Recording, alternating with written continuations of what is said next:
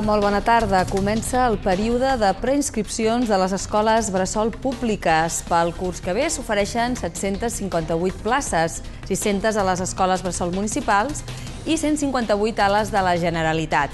El preu del curs és d'uns 200 euros. Els hi expliquem de seguida abans altres titulars al sumari.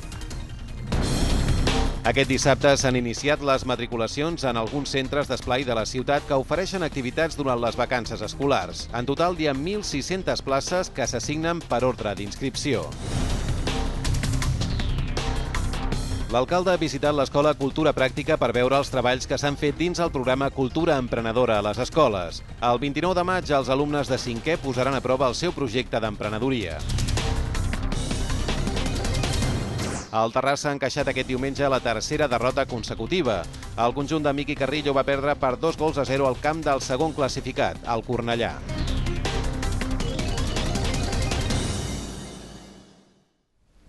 Ja es poden fer les preinscripcions per les escoles bressol municipals i de la Generalitat.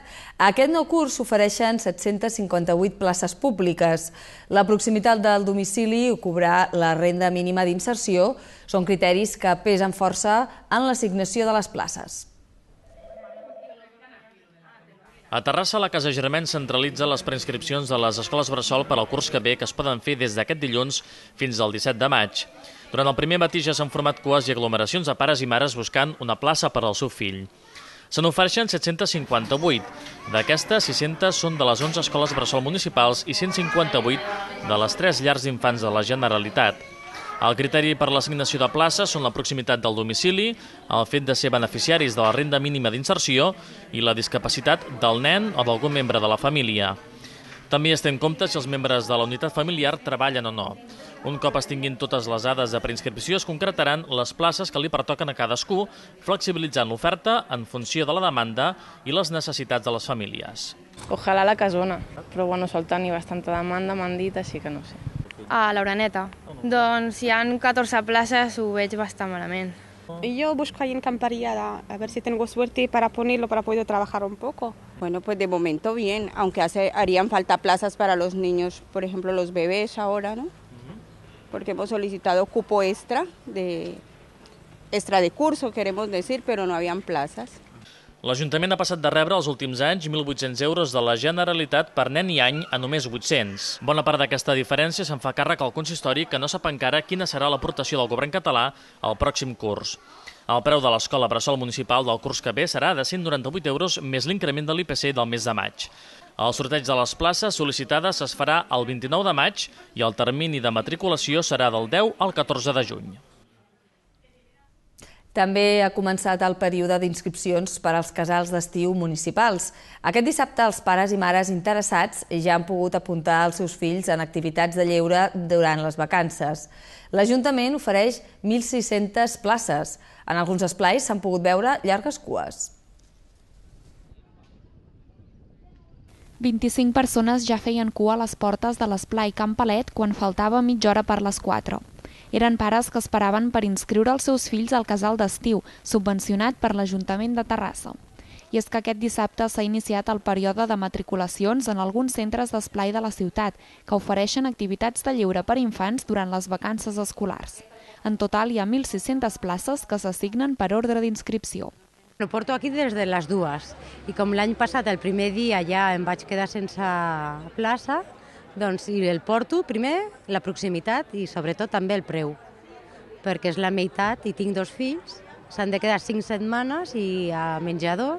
Està molt bé el preu, o sigui són 209 pel primer i 200 pel segon y está muy bien, todo el día. Llevo una hora y pues lo llevo por el tema de pues el que se quedan de, de, vacaciones en los colegios y luego pues la gente que trabajamos, que afortunadamente trabajamos, pues bueno, pues tienes que tener algo en los críos.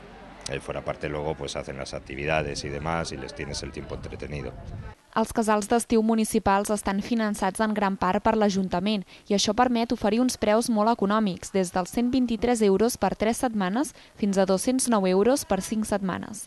A més, a partir del segon germà inscrit s'efectua un descompte del 4%. I hi ha centres d'esplai a tots els districtes de la ciutat, que coincidiran amb l'eix principal i amb els valors de la sostenibilitat com a base de totes les activitats. Els casals, pensats per nens entre 3 i 16 anys, seguiran un horari de 9 a 1 i de 3 a 5. Les inscripcions es poden fer durant el mes de maig i en alguns casos fins als primers dies de juny. I no deixem l'àmbit educatiu. Marxem ara fins a l'Escola Cultura Pràctica, on els seus alumnes estan ja a la fase final del projecte Cultura Emprenedora a les escoles, una iniciativa de la Diputació de Barcelona que vol mostrar als més joves com és engegar un negoci a partir d'un crèdit. Una experiència que es podia estendre a altres escoles i que aquest matí l'alcalde Jordi Ballar ha volgut conèixer de primera mà. El proper 29 de maig, els alumnes de cinquè de primària de l'Escola Cultura Pràctica posaran a prova el projecte d'emprenedoria que han dut a terme aquest curs. Muntaran una parada al Mercadal de Martí Lomà per vendre els productes que han elaborat.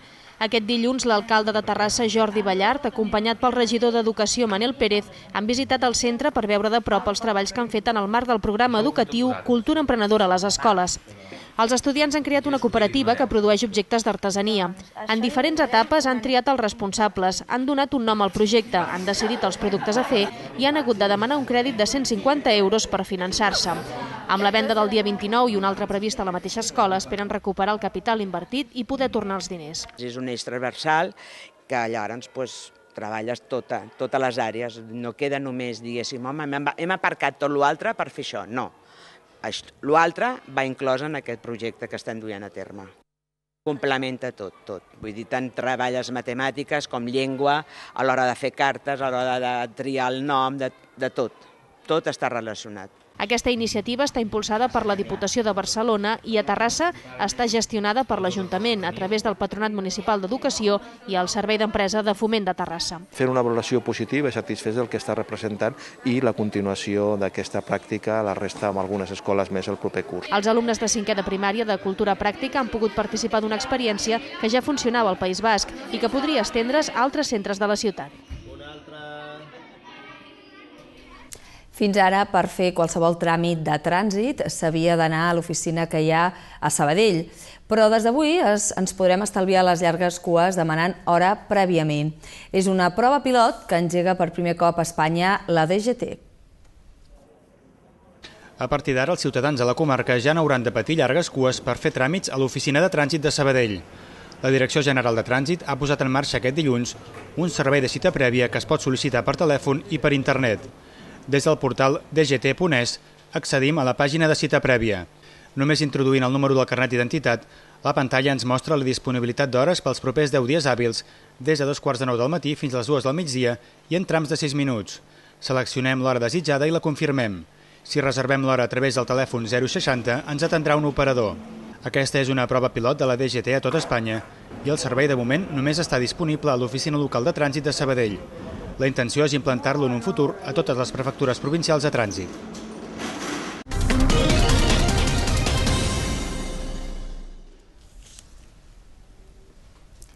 Comencem els esports parlant del Terrassa, que ahir va encaixar la tercera derrota consecutiva.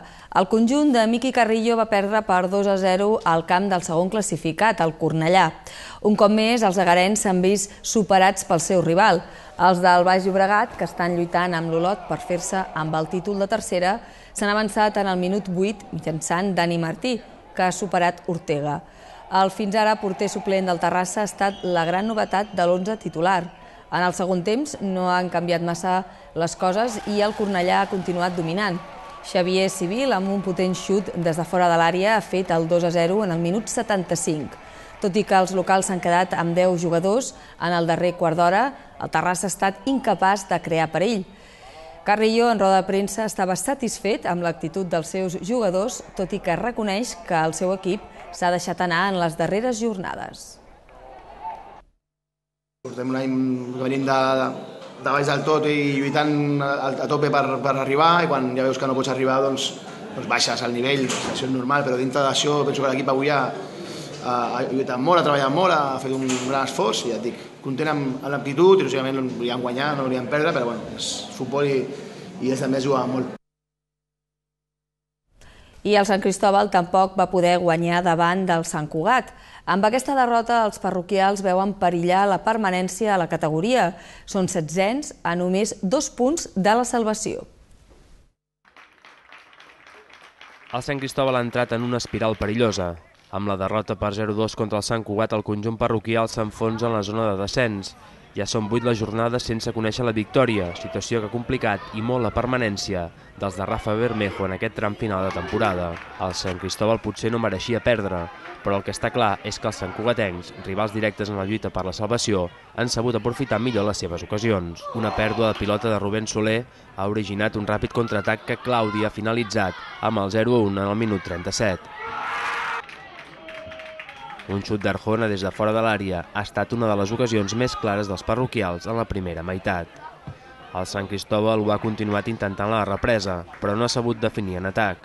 Els visitants que ja havien enviat una pilota al pal han sentenciat en el minut 58. Eganya ha trencat molt bé el fora de joc i ha superat amb facilitat Dani del Río.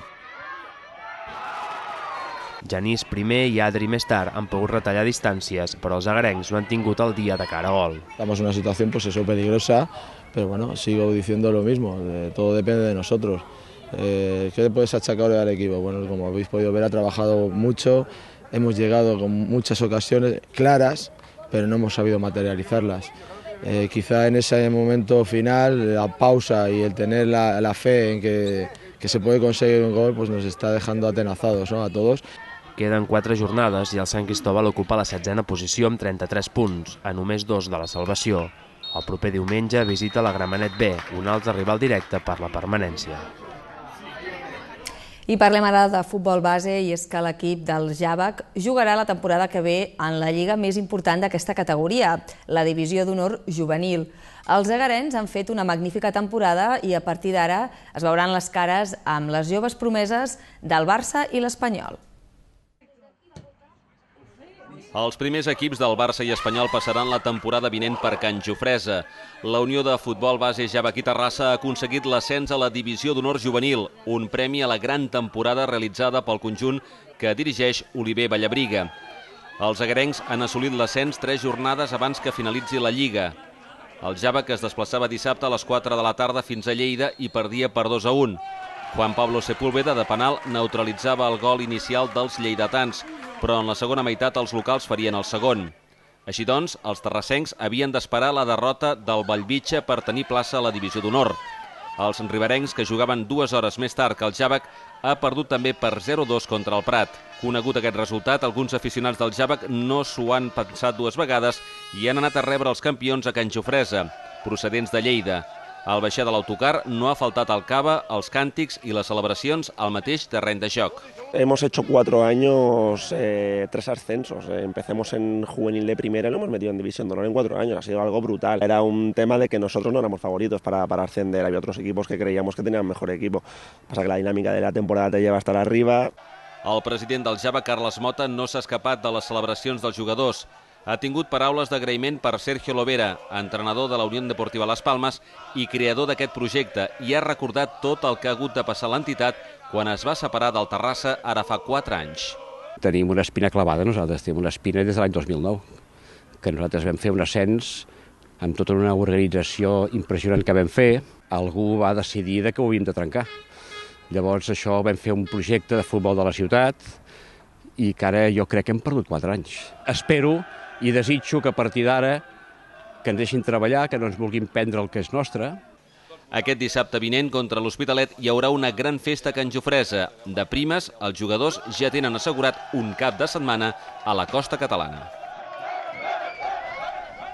No deixem el futbol, però ens endinsem amb la categoria femenina. El Futbol Club Barcelona ha sumat la segona lliga de forma consecutiva després de guanyar ahir l'Atlètic Club de Bilbao per un gol a dos. Sant Mamés es va omplir per veure un partit vibrant entre els dos equips amb opcions d'emportar-se el títol. Melanie en el minut 2 ha avançat les blaugranes de falta directa. Ibarra ha empatat abans del descans, però el Barça ha acabat imposant-se amb una diana de Kenti en el minut 71. En l'11 titular blaugrana hi figuraven dues jugadores terrassenques, Vicky Losada i Marta Corredora, que han contribuït en el segon títol de Lliga del Barça. Evidentment, l'alegria de les jugadores del Barça contrastava amb la decepció de les noies de l'Atlètic Club de Bilbao.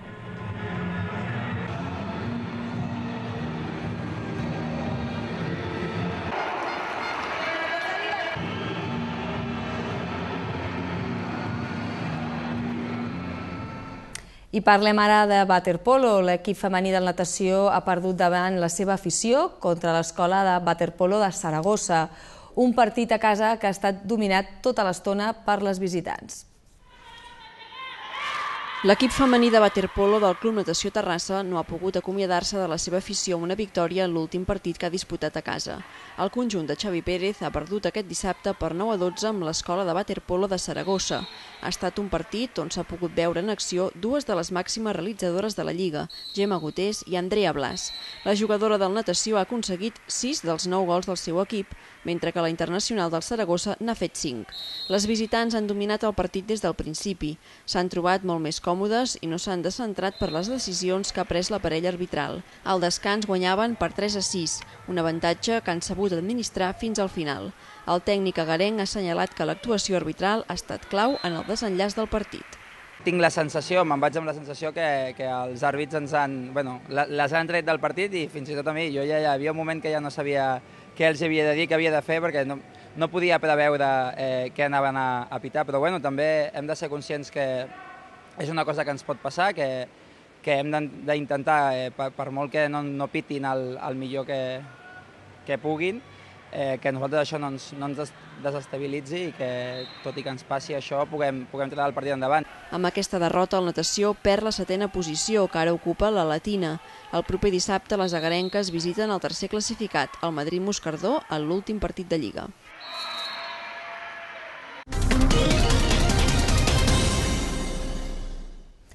Divendres, la Biblioteca Central va acollir una nova conferència al voltant del llibre blanc de la cultura. En aquesta quarta xerrada del cicle es va parlar sobre cohesió social amb Miguel Ángel Assomba, professor de Pedagogia Aplicada a la Universitat Autònoma de Barcelona i expert en diversitat cultural.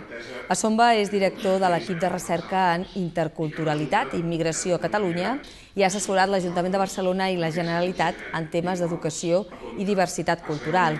També ha dirigit el centre UNESCOCAT i ha format educadors experts en interculturalitat del Consell d'Europa.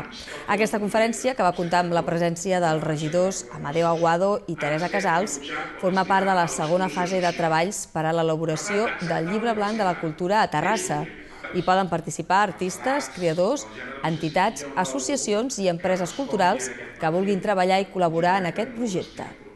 Res innovadors, perquè el que estem dient en el fons.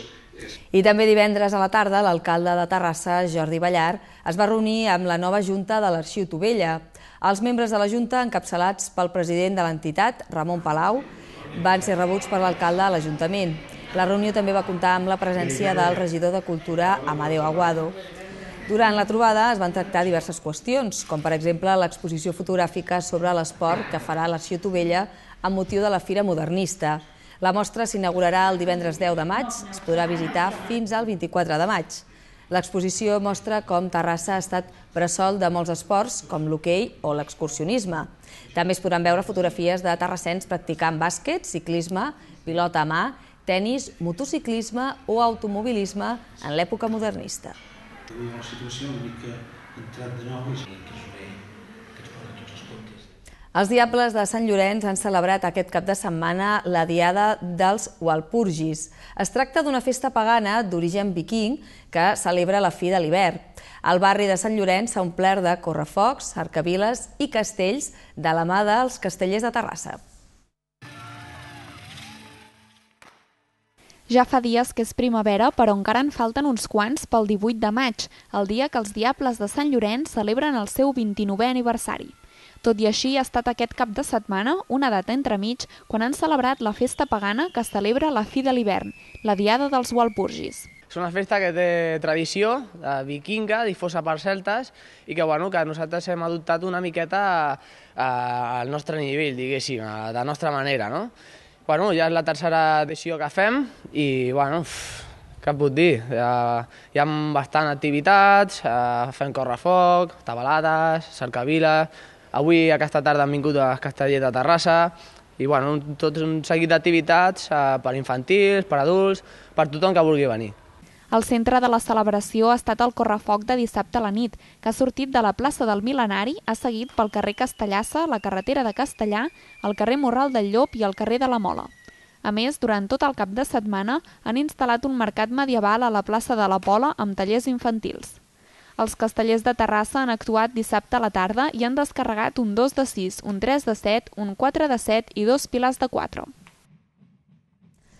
A més de participar en aquesta jornada convidats pels Diables de Sant Llorenç, els castellers han participat diumenge en la Diada del Roser de Maig de Cerdanyola. L'altra colla terrassenca, els Minyons, també han actuat. Ho han fet a Perafort, al Tarragonès, on han completat la tercera clàssica de 8 de la temporada. La colla castellera dels Minyons de Terrassa ha participat aquest diumenge en la Diada del poble de Perafort, a la comarca del Tarragonès. Ha estat la segona visita que els Malva han fet a Perafort, on han aprofitat per completar la tercera clàssica de 8 de la temporada. Els Minyons han fet el 2 de 7 a primera ronda. Posteriorment han alçat un 3 de 8 i s'han anotat la tercera estructura de la temporada. Han acabat l'actuació descarregant el 4 de 8. Juntament amb els Minyons de Terrassa han pres part la jove de Valls, que ha tornat a descarregar el 3 i el 4 de 8, mentre que els nens del Vendrell han descarregat el 4 de 7 amb el Pilar. Per la seva banda, els castellers de Terrassa han participat aquest diumenge a la Diada del Roser de Maig de Cerdanyola. Els blau turquès han fet un 3 de 7 per posteriorment enfilar la segona torre de 7 de la temporada. A la tercera ronda solien el 4 de 7. Els castellers de Terrassa tancaven actuació amb un pilar de 5 amb estrenes. Com cada primer diumenge de maig, l'Esbar de Terrassa ha organitzat la festa de la Santa Creu i l'Arbre de Maig, que originàriament se celebrava per beneir la collita dels pagesos. Des de l'any 1952, el rector de la Sagrada Família celebrava una missa on es repartien pans amb una creu marcada i es feia el Ball de la Coca. L'any 1985 es va recuperar la festa i des de llavors es manté fidel als inicis. Aquest any la festa ha estat marcada per un homenatge als dos padrins, Estefania López Pasca i Carles Mampel, els dos extensaires de l'Esbar. No hi ha faltat el Ball de la Coca, homenatge a l'arbre de maig i la celebració de l'Eucarestia amb pans de la creu. A l'organitzador de la festa, l'Esbar de Terrassa, se li han sumat els geganters, els bastoners, la colla sardanista Amunt i Crits, el grup Treure Vall, la colla del Bitxo, la Pàjara, el Drac Baluc i els Diables de la Maurina, que han fet una cercavila pel barri de Canaurell i han actuat amb les notes del grup Musicària. L'acte ha comptat amb la presència de l'alcalde Jordi Ballar i el president del grup municipal de Convergència i Unió, Josep Rull.